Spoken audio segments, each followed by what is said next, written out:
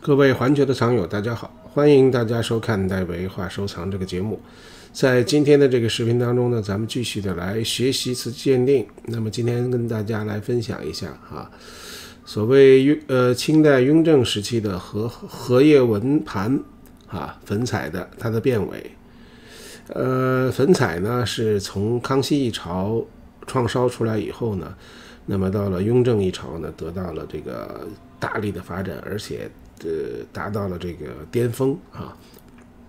那么后世呢，有很多的这个仿品出现，因此呢，这个我们怎么样辨别它呢，就是一个关键的一个重点。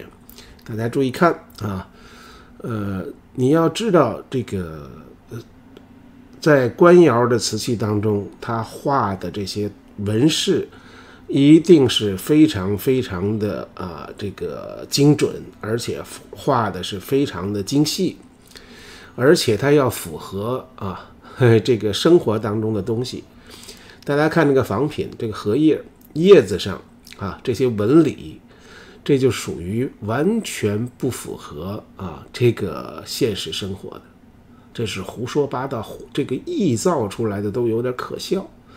你说这个画师没见过荷叶，他怎么能画出这样的东西来？垃圾当中的垃圾啊！另外呢，我给大家做这个对比，新旧的对比，要看雍正时期它的荷叶是怎么样来渲染的啊。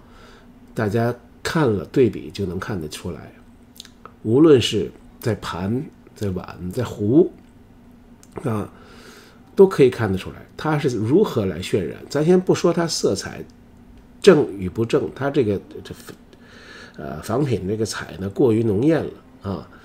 呃，可以看得出来，啊，这个雍正时期它的晕染是多么的精巧啊、精致。那么这个仿品啊，做的就是差距十万八千里。呃，通过这几个对比，大家都可以看得出来，对吧？而且这个叶子看了就让人恶心，真的啊，这叶子看了让人恶，就就就是叫怎么用一个成语怎么说？反正就是心里边就是很缭乱哈，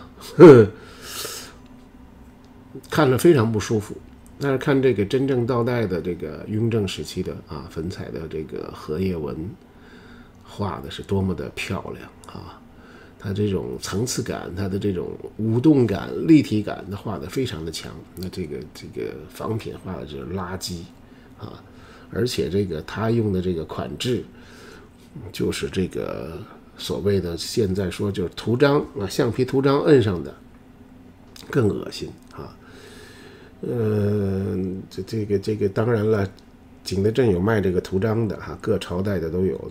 有有的时候他那一一兜子图章就得卖一万块钱呢。你要什么款式，他都刻出来，电脑刻出来的，然后你摁在那个瓷器上就可以。